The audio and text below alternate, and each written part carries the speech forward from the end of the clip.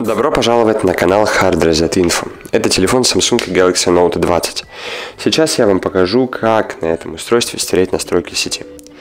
Итак, вначале открывайте настройки, затем спускайтесь вниз и выбираете пункт общие настройки. Вот. Нажимаете, затем нажимаете сброс и сброс параметров сети.